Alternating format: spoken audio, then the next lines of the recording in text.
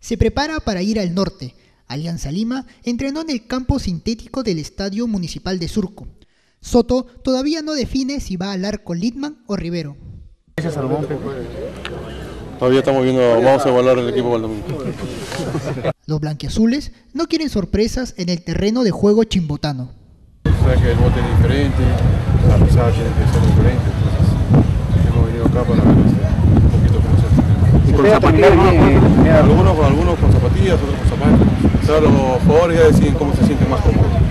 Por José Galvez hay respeto. Pepe intentará terminar ganando en esta primera rueda.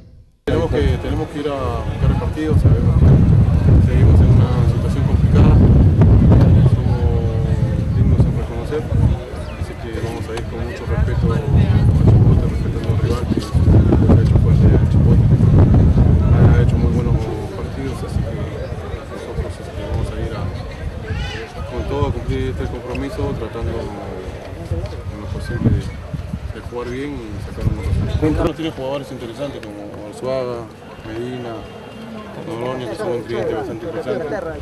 Si bien es cierto, de visita les ha ido mal, pero de local son Sobre la salida de algunos jugadores como Charquero, Rabanal, Carmona, Arrué, entre otros, el entrenador aliancista solo sabe que los necesita a todos. No me han dicho nada, yo lo necesito todo. Yo necesito todo el, el plantel, es más, estamos ahí analizando con el comando técnico a ver si pueden venir algunos refuerzos, algunos puestos que, no, que nos hace falta. Además el campeonato, como tú lo sabrás, es muy intenso lo que es calendario, se juega domingo, miércoles, domingo, tienes la Copa Inca, tienes el campeonato reserva, tienes este, la sub-20 Copa Libertadores, que algunos muchachos todavía de nosotros que están entrando en el primer equipo están en edad, entonces va a ser un campeonato muy exigente, entonces nosotros tenemos que contar con un plantel más numeroso, por eso estamos viendo la posibilidad de, ver algunos refuerzos y que le rueden a todos los jugadores.